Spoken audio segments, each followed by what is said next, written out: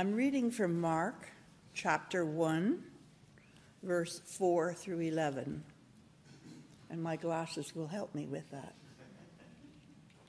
John the Baptizer appeared in the wilderness, proclaiming a baptism of repentance for the forgiveness of sins. And the whole Judean region and all the people of Jerusalem were going out to him and were baptized by him in the river Jordan, confessing their sins. Now John was clothed in camel's hair with a leather belt around his waist and he ate locusts and wild honey. He proclaimed, The one who is more powerful than I is coming after me. I am not worthy to stoop down and untie the straps of his sandals. I have baptized you with water, but he will baptize you with the Holy Spirit. In those days, Jesus came from Nazareth out of Galilee and was baptized by John in the Jordan. And just as he was coming out of the water, he saw the heavens torn apart and the Spirit descending like a dove upon him. And a voice came from the heavens You are my Son, the Beloved. With you I am well pleased. This is the word of God for the people of God. Let us bow heads in prayer. Almighty God, we are grateful for the forgiveness of sins, for the opportunity to be cleansed through faith in your Son Jesus. We are thankful for your word. And as we're about to reflect on it and learn from it, I pray that your Spirit will indeed work in our hearts and lives so that we may receive your message this morning and be moved and changed by it. This is our prayer. In the name of Jesus, Amen. So let me see. How many of you have taken down the Christmas decorations? How many of you still have the tree in the, in, in the house? Only us? Is that possible? Um, you know, we took uh, the stuff down to the basement yesterday. We still have to get the tree out of the house, but typically after Christmas and um, you know the place needs a bit of cleaning, right? I find pine needles in June um, that I missed somehow, you know, after Christmas. But when we talk about cleaning, it seems like many people today prefer to use natural products when they're cleaning the house cleaning solutions that are more environmentally conscious and more health friendly. And so, apparently, if you juice up a couple of grapefruits and add four tablespoons of salt, you can give the tub a good rub down and it will look like new and smell real nice. If you have some brass or chrome fixtures that you want to spruce up, they will shine like new with lemon juice and baking soda. Do you need to scrub down those kitchen counters after all the holiday baking? What you do is you take a couple of tablespoons of baking soda, a cup of white vinegar, and a few drops of eucalyptus oil, and it'll do the job quite nicely. And you can use the same mixture to clean up those pans in which you burnt uh, the Christmas turkey. In fact, baking soda might be the secret ingredient to solving nearly every dirty, smelly problem in the world. And so when you think about it, if you have baking soda and duct tape, I mean, what else do you need, right? You can take care of any household problem. But the point is that there are a lot of natural ways to get stuff clean in the kitchen and the bathroom. But on this Sunday, this first Sunday of the new year, we might want to do some even deeper cleaning. And I'm talking about the kind of cleaning that gets all the way down to the soul. And that's what our scripture passage for today is all about. We get the expertise of John the Baptizer. I guess we might call him the, the original Mr. Clean. We learn from him about what it means to be cleansed in Christ. The gospel, according to Mark, starts this way. He says in verse 1 of chapter 1 the beginning of the good news of Jesus Christ, the Son of God. It's the beginning of good news. Some old nastiness have been wiped away. Mark says we are about to read the good news about Jesus the Messiah, the good news that a world stained by sin and dulled by death had been waiting for. And the first messenger of that good news is John the Baptizer. So, what did John come to do? He came to announce the arrival of Jesus Christ, the Son of God. He came to prepare people for his coming. And part of that preparation would involve some deep soul cleansing. And so John went down to the Jordan River to instruct people on how to get really clean. Clean in a way that would remove even the deepest and oldest dirt embedded in their lives. And so let me just share three thoughts with you today. Three things, three hints that we get from John about some soul cleansing here at the beginning of 2024. First, why don't you use all natural ingredients? You see, John's ministry is about as organic as it gets. He's the link between the stories of the Old and New Testaments. His job is to announce that the promises God gave to his people long ago were about to be realized.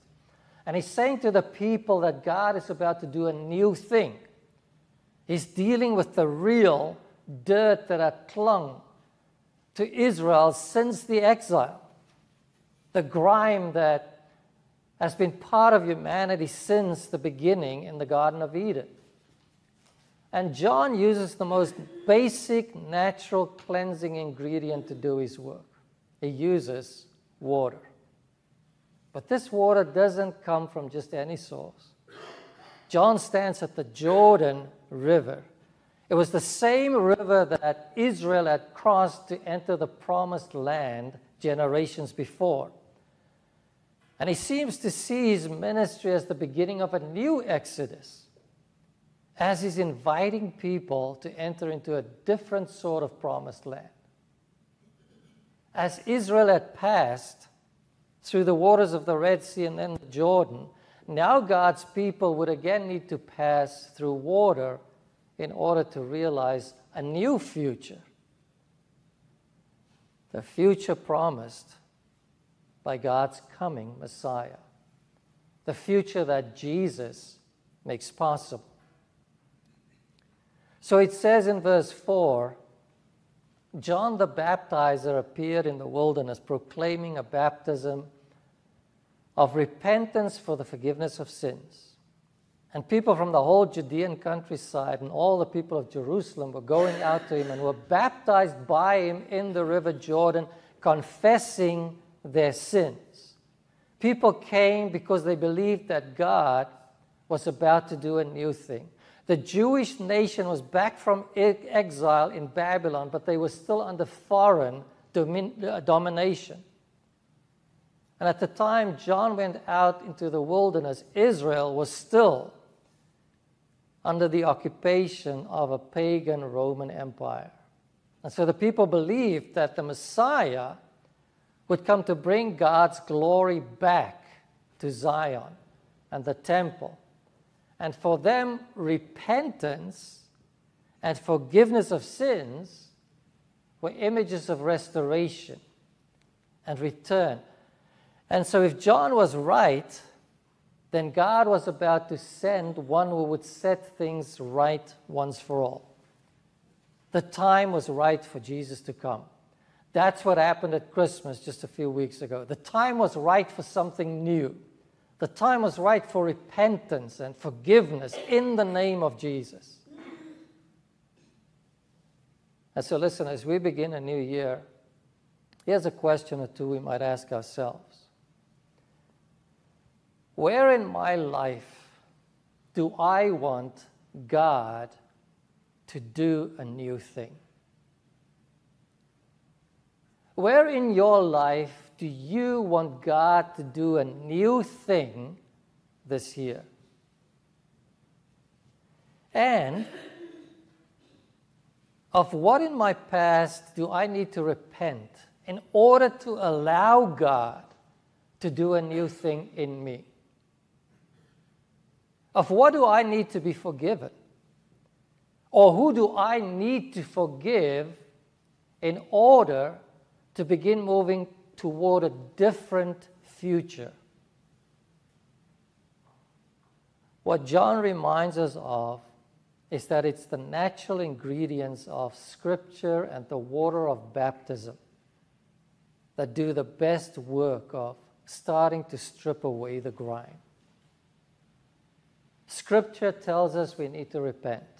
And in the waters of baptism, we are washed clean and we receive forgiveness. Here's the second tip from John know what kind of stain you are removing. If you want to get rid of dirt most effectively, you need to know the chemical makeup. And if you know the chemical makeup, you can know the best natural remedy to use. If you don't, you'll only be scratching the surface. You'll fail to get down to the nitty gritty of the stain. Now, when it comes to dealing with the stain of sin, we often think of treating the sins we commit.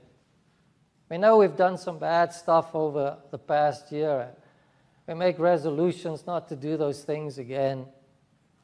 But when we think of sin as simply a laundry list of missteps and mistakes, we really miss the the real problem that needs to be handled. And the real problem is not a few missteps here or you know, a few missteps there. The real problem is sin, but with a capital S. And what the Bible tells us is that the capital S sin is a power that kind of enslaves us. We were born with a sinful nature. And it's a power that, that needs to be defeated somehow. It's a power that leads to its partner called death. And we don't have the power or the means to deal with it effectively. Only a real Savior and Messiah can remove it. And the good news that Mark reveals is that the Son of God has come to do just that through the cross and the resurrection. And that's what Jesus came to do. Didn't come to save the, the Jewish nation from the oppression of the Roman Empire. Came to save them and us from sin and from death. Because you see, when you get baptized in the name of Jesus, you're incorporated into the Messiah's saving work. And what you and I need to remember is that the beginning, at the beginning of this year, is if we're going to deal with that capital S sin in our lives, what it requires is a deep and honest self examination a way of looking honest at ourselves. A way of realizing and recognizing the ways in which we still find ourselves enslaved to, to sin. What we need is a, a new commitment to worship and praise the one who sets us free, the one in whose name we've been baptized.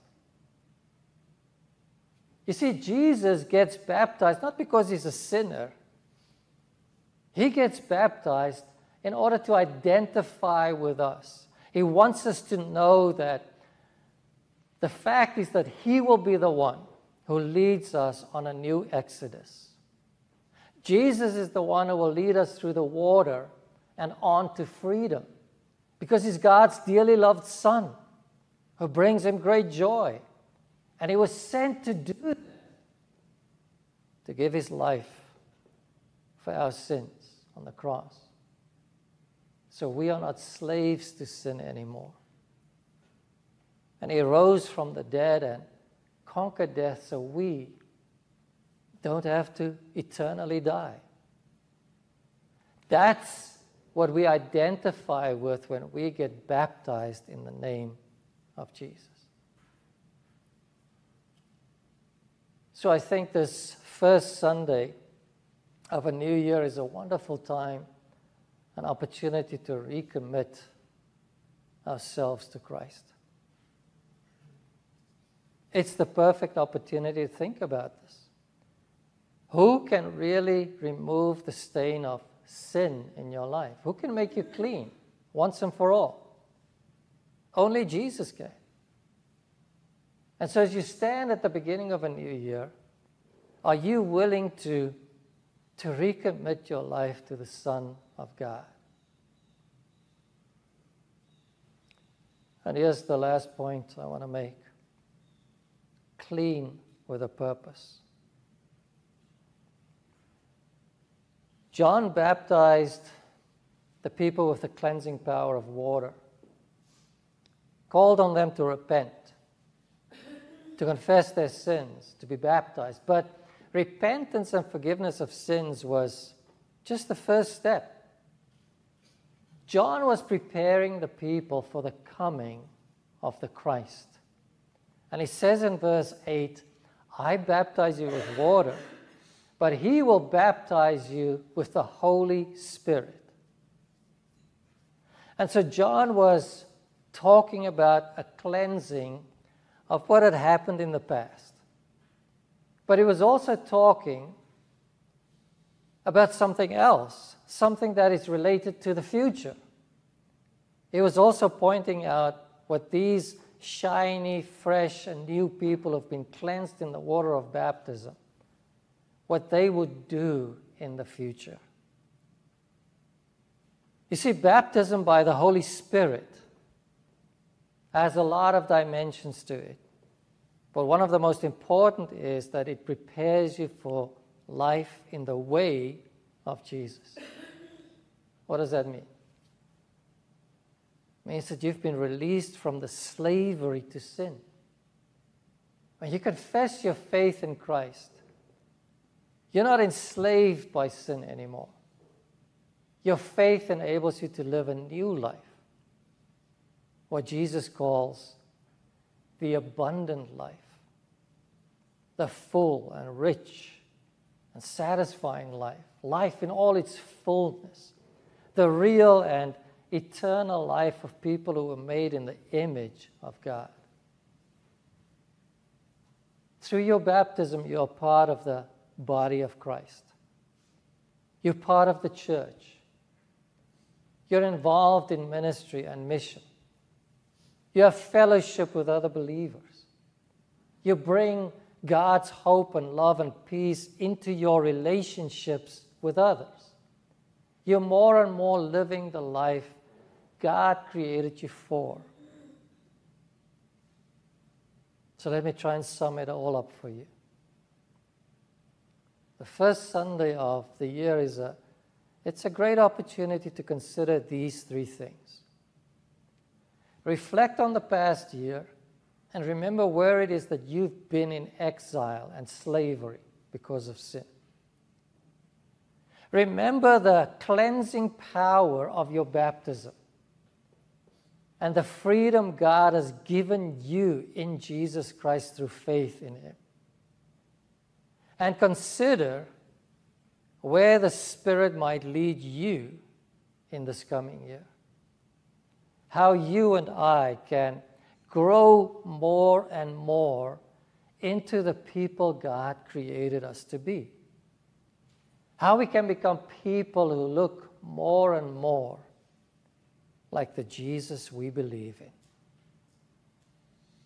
Amen. Let us pray.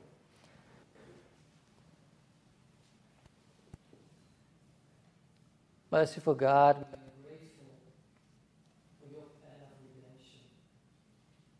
for the waters of baptism that brought us into your kingdom, into your family. May we also experience the baptism of your Holy Spirit to renew us and conform us and change us to become more and more like your Son Jesus. May we all take an honest look at our own lives and maybe this past year and pray for something new that you want to do in us in 2024. That you will bless us with growth. We pray that in the name of your Son, Jesus. Amen.